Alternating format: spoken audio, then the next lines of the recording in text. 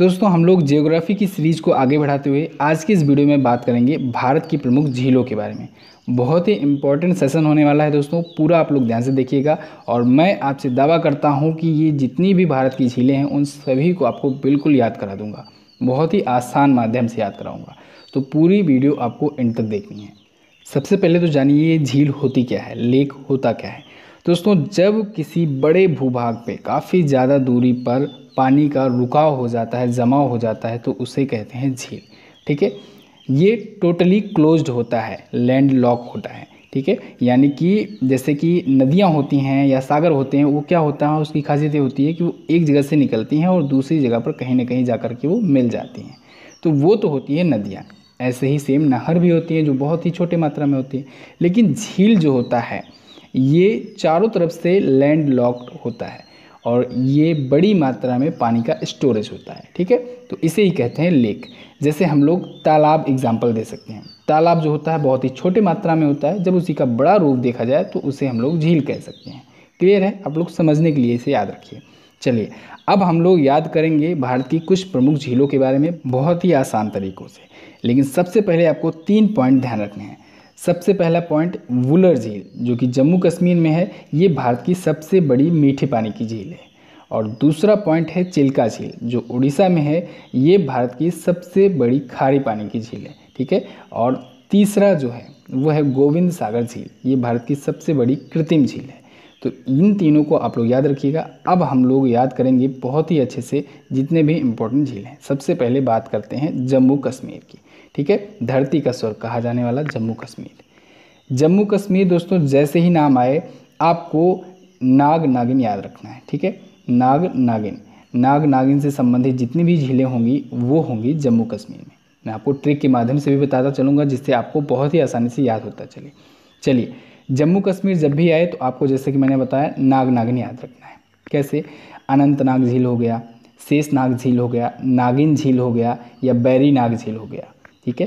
तो ये सारे हो गए जम्मू कश्मीर में, ठीक है? फिर से मैं बोल दे रहा हूँ, बुलर झील, अनंतनाग, शेख, शेषनाग, नागिन बैरी नाग ये सभी झील हो गई जम्मू कश्मीर में। अब जम्मू कश्मीर से एक पॉइंट और याद रखना है, डल, बुलर और मानस बल। ये तीन हो गए ला से संबंधित। रिदम मिलाइएगा आप लोग, आराम से मिल जाएगा।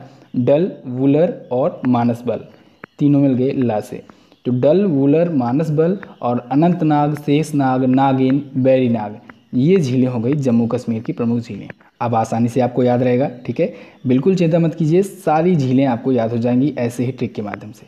चलिए अब आ जाते हैं उत्तराखंड में। उत्तराखंड ये रहा, आपको दिख रहा है।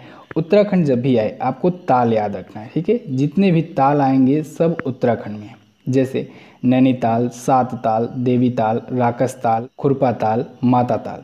क्लियर है? फिर से बोल दे रहा हूँ, आपको वैसे याद करने की ज़रूरत नहीं। ये जो मैं ट्रिक बता रहा हूँ, केवल यही ध्यान रखना आपको। और जैसे ही ऑप्शन आए, तुरंत आप लोग टिक कर दोगे। जैसे भी ताल आए, आप समझ लीजिए उत्तराखंड में है। जैसे नैनीताल, सात ताल, देवी ताल राकस ताल, खुरपा ताल, माता ताल। क्लियर चलिए, अब बढ़ते हैं हम लोग राजस्थान की तरफ़।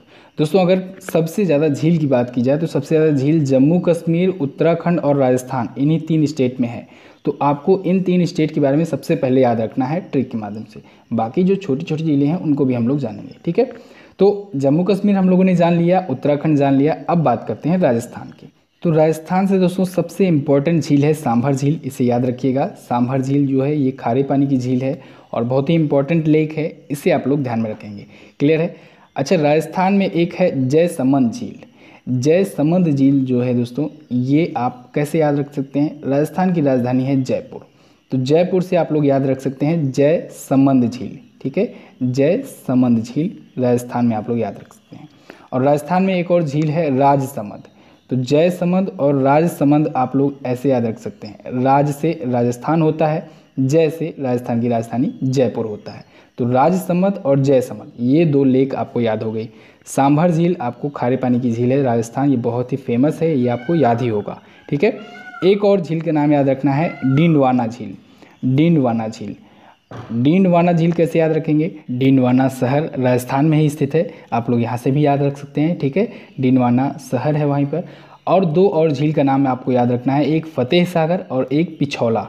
क्या क्या फतेह सागर और पिछौला। तो इतनी झीलों के बारे में अब आपको याद हो गया है। अब भारत की कुछ और भी जो प्रमुख झीलें हैं, उसके बारे में हम लोग कल कवर अप करेंगे, नहीं तो आप लोग भूल जाओगे। हमारा मेन पर्पज़ ये शुरू करने का है कि आप लोग को याद कराया जाए, ठीक है?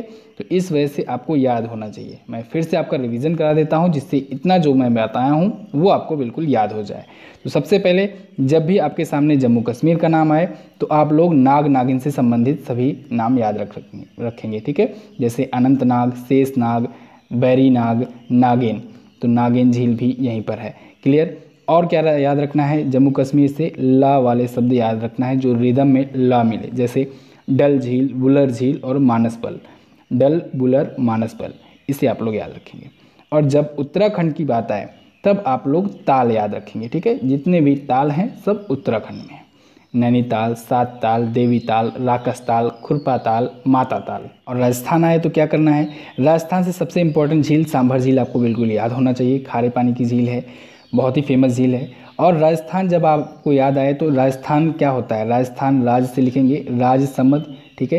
राज समद में राज से हम लोग राजस्थान याद रखेंगे। और राजस्थान की राजधानी होती है जयपुर तो जयपुर से जय समद तो राज समद और जय समद आपको याद रहेगा।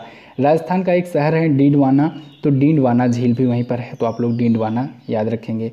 फतेह सागर और पिछौला, ये दो झील आपको याद रखनी है राजस्थान से। तो इतनी झील आपको बिल्कुल याद हो गई। क्लियर है? सबसे इंपॉर्टेंट और बेसिक पॉइंट मैंने आपको बताया, बुलर झील भारत की सबसे बड़ी मीठे पानी की झील है। चिल्का झील उड़ीसा में स्थित है, भारत की सबसे बड़ी खारी पानी की झील है। और ये एक लेगून झील है। इसे याद रखना है, कल हम इसके बारे में जानेंगे। गोविंद सागर झील जो है, ये भारत की सबसे बड़ी कृत्रिम झील है। ठीक है? कृत्रिम यानी मानव निर्मित झील है।